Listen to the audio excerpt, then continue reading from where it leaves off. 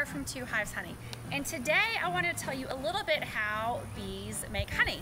So bees are out gathering two things, nectar and pollen. We'll tell you about pollen another day, but today let's just focus on the nectar.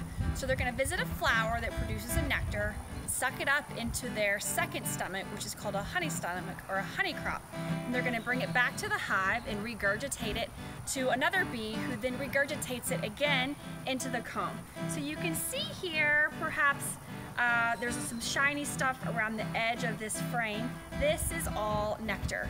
And then what will happen is the bees will dehydrate it. Nectar is very high in water content. They're going to dehydrate it to about 18% water, which will then produce honey, which has a much longer shelf life. Thanks for tuning in.